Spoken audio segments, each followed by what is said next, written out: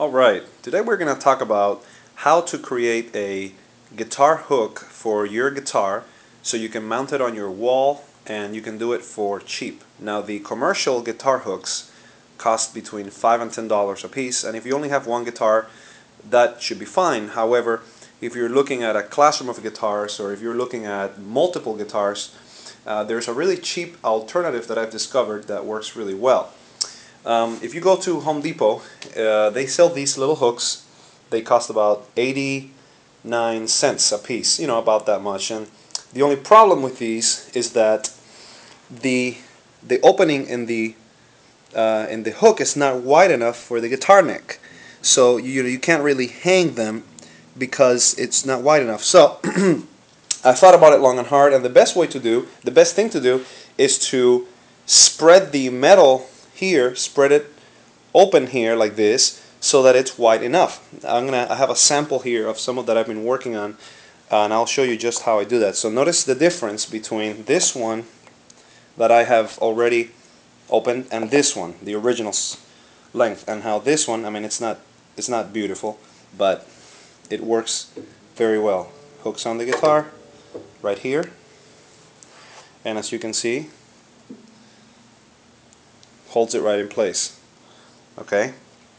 So now let me show you how we do that. You take your original hook, okay, and you find two metallic pipes, okay. I happen to have a copper pipe and I guess this is a iron pipe, I'm not really sure.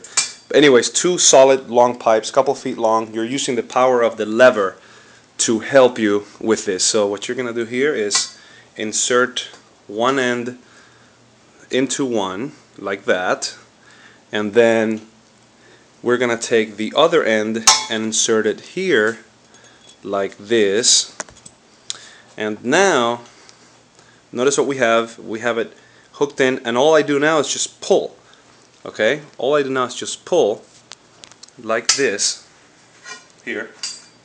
All I do now is just pull like this. Can you focus it here? Good like this.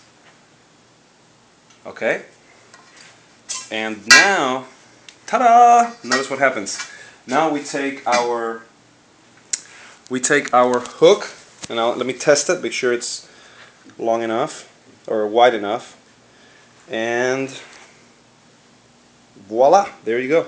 Guitar hook holder for 89 cents. And then you can obviously, if you're mounting it onto a sheetrock wall like this one, the best thing to do would be to find, uh, use a stud finder to locate the studs behind the wall then mount a wood, um, like a one by four, like a like a like a thin uh, wood rod across the wall, and just drill it into the uh, into the studs, and then screw these into the wood. So that, that way, it gives it the support that it needs, and your and your guitar is uh, safely safely hung.